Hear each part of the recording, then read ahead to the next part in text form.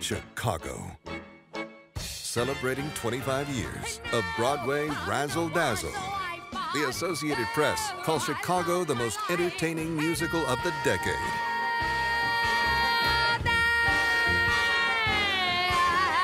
Paint the town again with Chicago the Musical. Sunday, March 19th at 8 p.m. Go to thestrandtheatre.com for tickets.